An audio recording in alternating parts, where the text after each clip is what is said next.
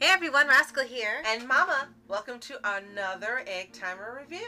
Today we're covering the DreamWorks film Sinbad Legend of the Seven Seas. Yes, and this is a movie Rascal has wanted to buy for so long, she finally got it. Yes. And we've covered just about all of the DreamWorks films on here, but this one is quite often overlooked.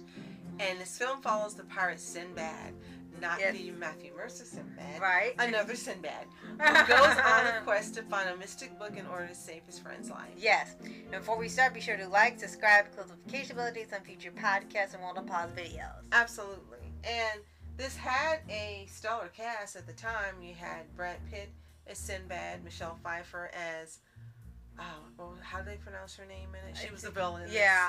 Yeah, I was like, wait a minute, how do they pronounce She's that? the villainess. And they also had um, Dennis Haysbert Yes. and Quite a few others. someone else who played the friend. It just and it can't, yeah, it's been so long now, so. Right. And this is one of those very early on DreamWorks movies where when you look at the case, it doesn't even look like a DreamWorks movie. Right. It looks like it's a Disney movie. Right. And I kept thinking it was a Disney movie. And Rascal kept saying, no, it's DreamWorks. And I kept saying, it's Disney. Are you sure? No, Yeah. it's DreamWorks. and I think that's because this was a time when they were actually trying out um, 2D movies for DreamWorks. They did some uh, early CGI, they did a little bit of stop motion, then they tried 2D, and it looks like they made a few movies out of that. And then they stopped altogether with that and just went straight to CGI, and that's what they've been doing for the anime movies pretty much from that point on. And this, they had, you know, this, El Dorado, Spirit, The Prince of Egypt, and Joseph King of Dreams. So Sinbad seemed to be maybe one of the last movies they did in that format. and that's unfortunately a good thing. Yeah, because it looks like maybe for the better they went to a different style. Because if they had, I think all the movies would have been much different, or they'd have made all different movies altogether. And they also went on to better stories. This one was weak. It really To was. us, and yeah. There have been so many versions of this story done, live action and animated, and even in anime. Yes. But this one was one of the weakest ones that I've personally seen. Yeah. And the reason why for us it was that the title says Legend of the Seven Seas. You don't really see that put into effect. There are no seven seas in this movie. It's one sea. we go through one sea that's just a really big sea, and then that's it. And it's supposed to be inferred that he's this big swashbuckling adventurer, and there's all these dangerous things and creatures and villains and stuff and battles and things. But you barely see any of that in here. the only big one you do see is Michelle Pfeiffer as Eris. That's Yes. her name. Yeah. And she literally is huge. She makes herself small, but she's literally huge. And she's the biggie, the biggest baddie. Right. And you don't see any others. You really don't. She had a few little minions that did some things for her, and they were human. yeah. But you, we were expecting grandiose, you know, special, no special effects, grandiose, grandiose digital special effects and Mhm. storylines and things like we got in Magi and in the Sinbad spinoff. Yeah. But in here, it was just kind of disappointing.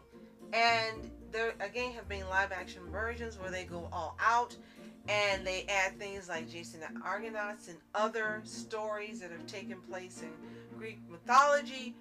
This didn't do it. Yeah, and it was unfortunately for us disappointing to see that because we were expecting something really big. Because she's also the driving force behind the the plot of the movie going forward, and you're thinking, well, she does have some obstacles for him and his crew as it goes on, but the issue is that it doesn't get any bigger than what you've seen in other pirate movies. Pirates of the Caribbean had way more going on in one film or several films than this does in one film. And it seems like at the time this was made, it was just supposed to have him kind of butting heads with the woman that snuck aboard to make sure he did the job. His best friend's fiance. Well, Ah, soon to be fiance because he wants to marry her and then he tells her, Well, I want you to say yes because you want to, not because you feel obligated. She was like, Dude, um, um, well, That thanks for trying. Uh, yeah, and we gotta get to that in a minute.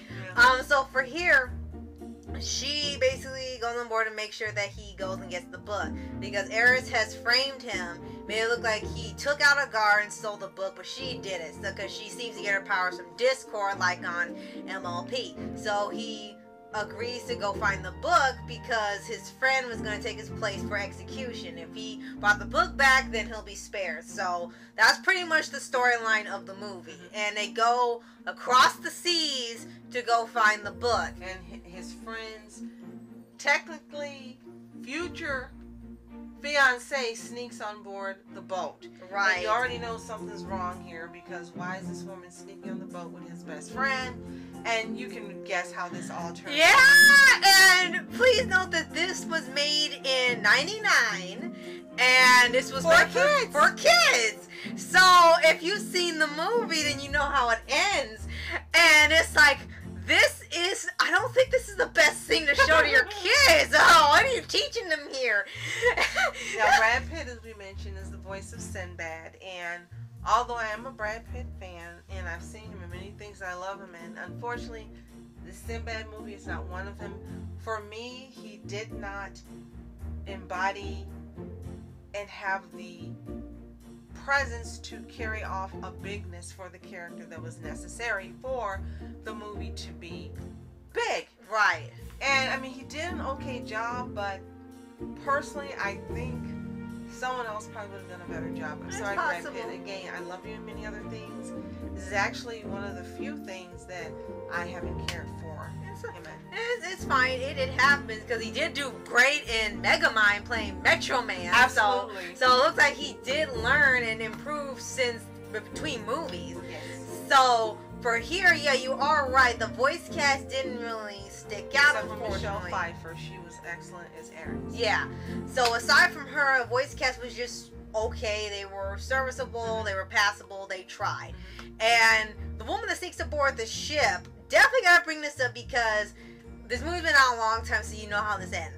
Um, here's what I find off about how they set up this relationship towards it. The entire movie, she's pretty much in charge. They want her on board because they finally have a woman on the ship, so they're not gonna take kick her off, and it's just been a bunch of them uh, for years. So of course they're immediately warm up to her, except for Sinbad. And clearly the whole thing is that she pretty much takes charge as soon as she's on there, and well, at one point she does help when there's sirens and they, you know, fall into the trap. So of course she doesn't get uh, trapped in it. So at one point she does help. But it seems like she takes over majority of the story and the mission, even though it's called a Sinbad movie. Right. And throughout this movie, she has all these skills that are equal to Sinbad. And the whole joke is that they're butting heads because he's uh, at the time where they said how the guys treat the girls in the movies when they want to do more action and stuff, and they butt heads. She's called him everything. He's called him narcissist, sexist, all that. You know the drill. But then they get to a part of the movie where it looks like he failed his mission. And then she's suddenly really, really feeling bad that uh, this is gonna happen to him. Well, of course you would because he really was trying to help his friend. The problem for me is that in the span of less than 90 minutes, she went from calling him out of his name, all sorts of names, yada yada yada, treating him like not so great. Then gets to here and suddenly she's all Sinbad, darling. Like, when did you switch like that? It wasn't done in enough time or the right way. They need to have watched some anime and then it would have it right. But here, yeah, it just doesn't work. So, if you're a fan of DreamWorks and you really just want to see some of the early earlier works, sorry guys, then give it a try. But if you really just want to see some of the better DreamWorks movies, unfortunately, we say give this one a pass. Fortunately, we couldn't because Rascal bought it. right? But now we've seen it, and unfortunately, we don't rate this very high. right. Now, if you have seen Sinbad and this is one of your favorite movies or it's really high on your list, let us know in the comments and let us know why it works for you. Right. And we love to hear your thoughts. And if you haven't already, subscribe for updates and weekly videos on your favorite anime series, animated shows, and all things animation. Absolutely, more Egg Timer reviews. Yes, so thank you so much for watching. I'm Rascal Entertainment. And our Mom Entertainment. Have a fantastic day. Peace.